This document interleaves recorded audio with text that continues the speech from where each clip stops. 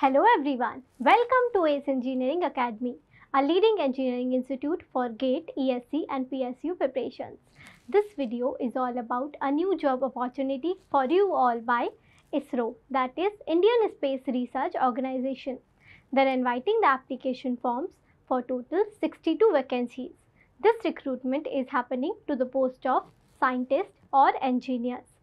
Candidate will be appointed at Group A post under pay matrix pay level 11 and 10. Now let's have a look at essential educational qualification requirements for this recruitment.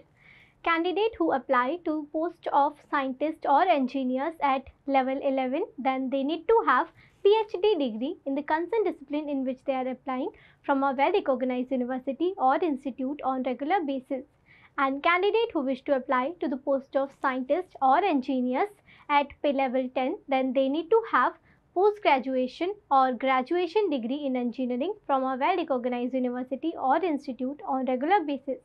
The degree should be in the same discipline in which they are applying. Candidate educational qualification will be calculated as on 21st July 2023. Now let's have a look at age limit requirements for this recruitment. Candidate applying at level 11 then their upper age limit is 35 years Candidate applying at level 10 with post-graduation degree, their upper age limit is 30 years and candidate applying at pay level 10 with graduation degree, then their upper age limit is 28 years. And age relaxations to reserve category will be provided as per the norms. Now we'll have a look at selection process of this recruitment.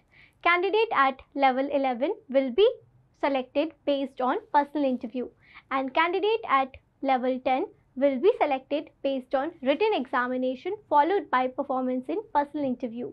Now let's come to written examination pattern. Written exam for post-graduation and graduation candidate is different. For postgraduate candidate, examination pattern will be as shown above. That is, questions will be asked from Part A, Part B and Part C. Part A and Part B is objective type and Part C is descriptive type. In part A, questions will be from concerned discipline knowledge. There will be 60 multiple choice questions. Time duration to attempt part A is 75 minutes. There is also the negative marking of one third marks in part A. Now let's come to part B. In part B, questions will be from reasoning. In this, total time duration to attempt the exam will be 30 minutes. There will be total 15 multiple choice questions of 20 marks. There is no negative marking in part B. Now let's come to part C. In part C, there will be 20 marks questions. Time duration to attempt part C is 30 minutes. Now let's discuss examination pattern based on graduation degree. In this, there will be two parts, part A and part B. Part A is concerned discipline knowledge test and part B is reasoning ability test. Type of questions will be multiple choice. In part A, there will be 80 questions and time duration to attempt exam will be 90 minutes. In part B, there will be 15 questions of 20 marks and time duration to attempt part B is 30 minutes. In part A, there is negative marking of one third marks and in part B, there is no negative marking. Candidate also need to secure minimum qualifying percentage marks in written examination and personal interview. For unreserved category, candidate need to secure 50% marks in written exam, 50 marks out of 100 in personal interview and all over that is written exam plus personal interview 60% marks.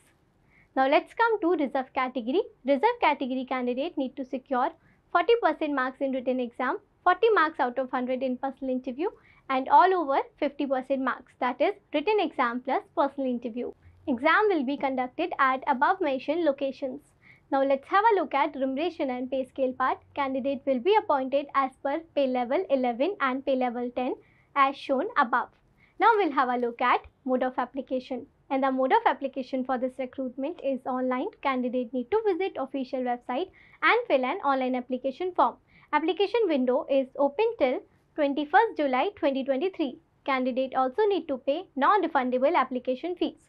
For unreserved category, it is rupees 750 and for reserved category, there is no application fees. That's all about important highlights given in this recruitment notification. If you want to view detailed advertisement, the link is available in the description box. If you like this video, do hit the like button and for regular update on latest job notifications and other informative videos like this, do not forget to subscribe our channel and press the bell icon. Thanks for watching. Keep learning, keep watching, keep smiling.